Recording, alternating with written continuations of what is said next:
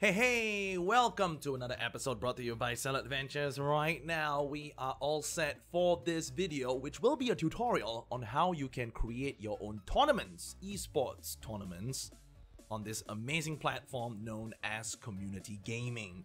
Now, what we are going to do here at Salad Ventures and with our upcoming Apollo Squad tournament, we are in fact going to use this interface to organize and run the competition and teach you how you can do so and allow you to actually see how the tournament turns out to be based on one of the most popular NFT games at the moment, none other than Axie Infinity. So of course, if you are starting with this video, please make sure that you check out the link, uh, or rather check out the video for the tournament that we've run with the Apollo squad, or if you have already watched that and you're coming to this one from that video, then sit tight my friends because we are going to show you the simple, easy, fuss-free step-by-steps that you need to take in order to create your own tournament on community gaming.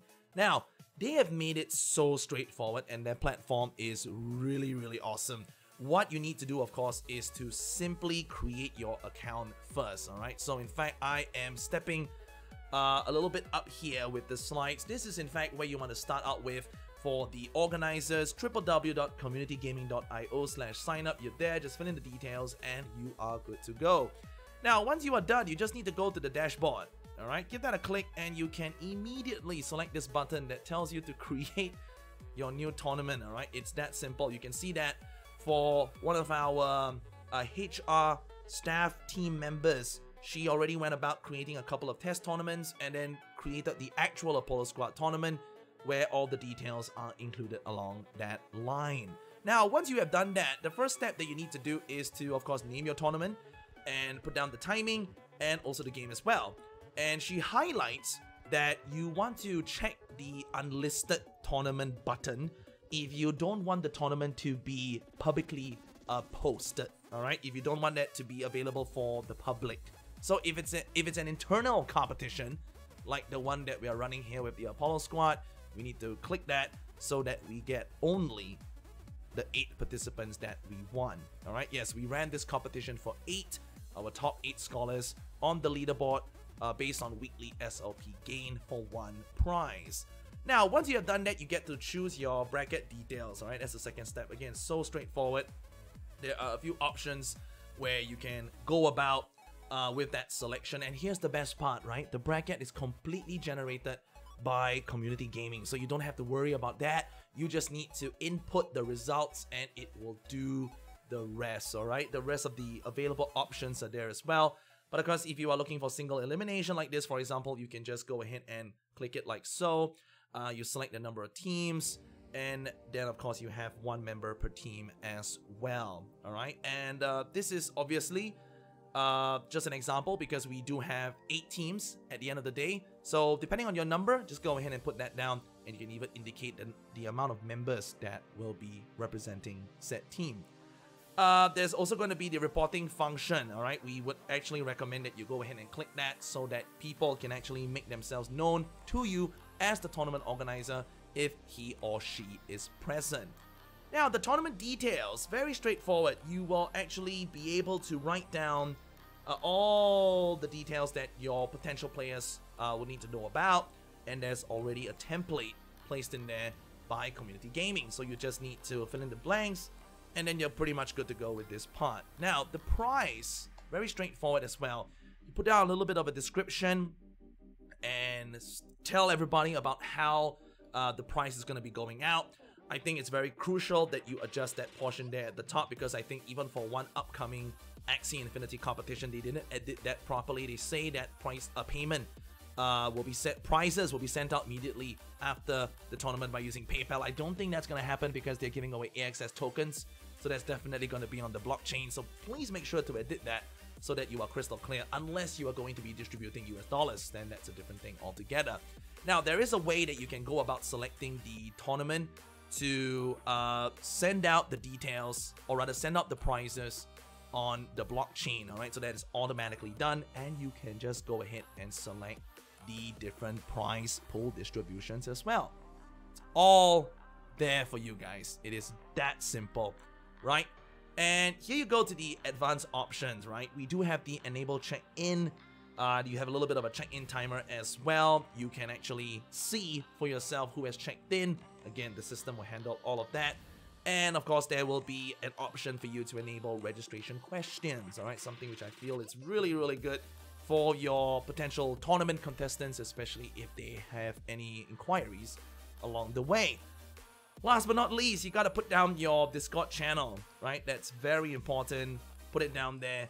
And you can also enable game ID that will allow people to put in their own custom ID, alright? Of course, if you wanna streamline that with the Discord IDs and the tournament IDs, then you probably do not want to check that final part. Right, so with that, that was pretty much all uh, we needed to do there for the setting up of your own tournament, alright? That simple, that fuss-free, and we have already gone about creating uh, this tournament, and we're going to be posting a video as well on what transpired and also some of the tips uh, along the way. Now, what we do want to recommend, right, is that you have to perform a little bit more outside of the community gaming platform if you're running a game like Axie Infinity specifically. Like, for example, uh, the players, right, they actually need to add one another uh, with the Ronin address. All right, so that's some of the back-end stuff that you need to do outside of community gaming. You get them to add each other uh, using the Ronin address, so only one of them needs to create the match, and then they are able to go in and compete. Uh, and the rest, of course, you know, making sure they have stable internet connection, uh, keeping in close contact with the Discord and Telegram, uh, informing them, you know, that their device has to have batteries, all the very, very simple stuff, right? But uh, essentially, right, as a back-end organizer, you are using Telegram or Discord to organize the players by telling them who gets to go next, uh, and who should initiate the match. Again, using Axie Infinity as an example, you challenge somebody to a battle, and then you play the match, alright? And then, of course, if the organizer is running a stream, they can actually add these players with the same Ronin address to watch their game uh, with a slight delay, alright? So obviously, there's a bit of a uh, stream delay so that you can't uh, influence the match uh, you know, by, by, by telling one of the players, etc., etc. So there's a bit of a delay there, which is fantastic. So as an organizer, you can actually jump into the game to watch what has happened, and you can see the results. Now, if you have too many matches going on at the same time, that is when your Discord or Telegram or your messaging platforms will come in handy for them to send you screenshots of who managed to win the game.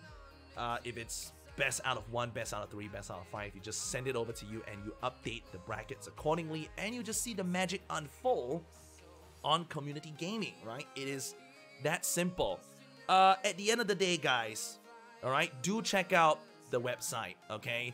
And if you are a guild master, if you are a manager, this is a must-have tool to build your community, right? It is such a simple thing to do, fostering competition with cohesion and sportsmanship and we'll be very excited to bring you more collaborations with community gaming in the near future. Do check out their webpage and feel free to reach out to us in the comments if you have any inquiries. Uh, once more from all of us here at Salad Ventures, thank you so much for watching. We're going to have more content coming up in the near future. Feel free to drop a subscribe and a like, and you're going to be hearing a lot from us, not just from the Apollo squad, but from some of the other NFT games that we're going to be diving into as well. Mines of Dalarnia and Cypher just around the corner. And yes, you can expect that there will be competitions and esport tournaments on community gaming for those games as well. Stay safe. Bye bye now.